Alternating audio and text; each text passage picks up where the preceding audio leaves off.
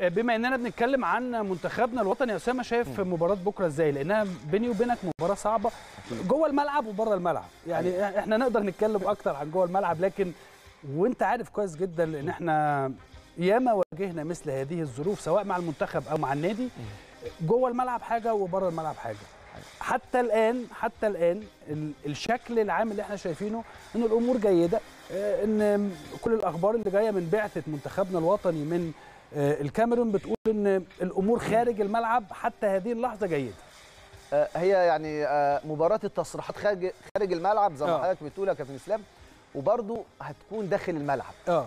خلاص أنت بتقفل الملف بتاع التصريحات بكرة مع نزول اللعيبة للتسخين. آه. نادي منتخب مصر بيمر برضه بظروف صعبة.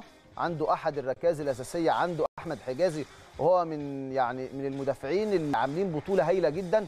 بكرة منتخب الكاميرون بيمتاز بالكرات العرضية كان هيفرق معانا وجود أحمد حجازي لكن إن شاء الله الونش موجود أيمن أشرف موجود محمد عبد المنعم اللي إحنا كنا هنا سلطنا آه. الضوء عليه في قناة الأهلي في برنامج الأشبال.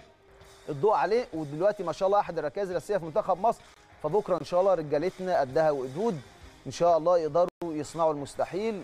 آه التحكيم وبكاري جسامة الملعب الجمهور لكن إن شاء الله عندنا إحنا الهدف الأكبر. مش عايزين نتكلم عن بكاري جسامة ومش عايزين نتكلم عن أي حاجة ولكن إن شاء الله إن شاء الله بكرة يكون منتخبنا الوطني في الموعد ويستطيع أن يفوز ويصل إلى المباراة النهائية ويفوز كمان بهذه البطولة ويستطيع الحقيقة منتخبنا الوطني أن يرسم البسمة على شفاة كل الشعب المصري.